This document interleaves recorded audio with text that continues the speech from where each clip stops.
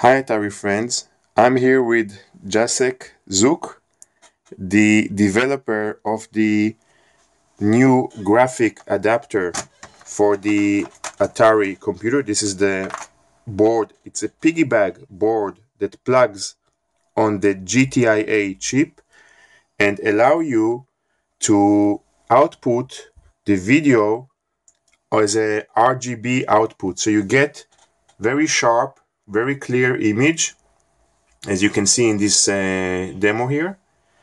And this is the connection or the video output from the regular uh, composite uh, S video. So here the image is not so sharp.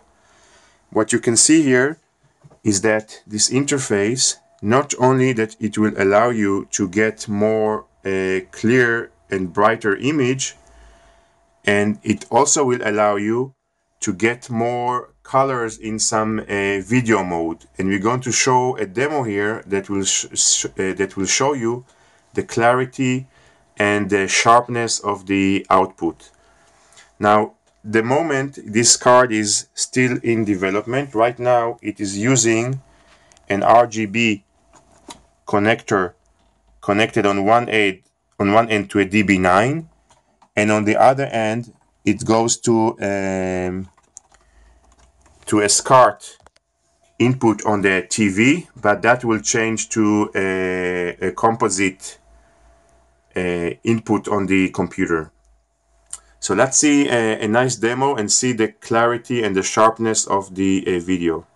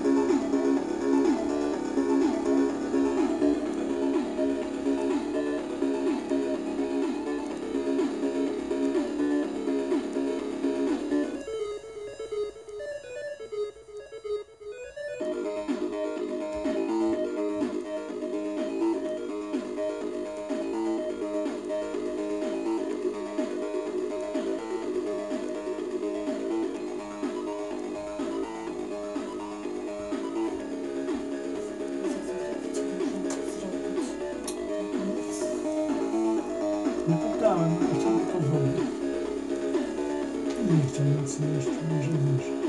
Chyba, wiesz, nie, nie ma za dużo czasu już. Już pół 12. screen where you can see the RGB out from the new GTIA piggyback upgrade to the Atari.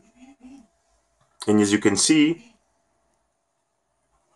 the nice shades and sharpness of the color. We have another TV that is connected to the interface through the composite from the output to a regular TV and you can see that the, that the image is not very sharp and the clarity of the characters could be better. So that's the, re the regular video output and this video output from the GTIA adapter and you can see also that in high res you have also additional color that you can control.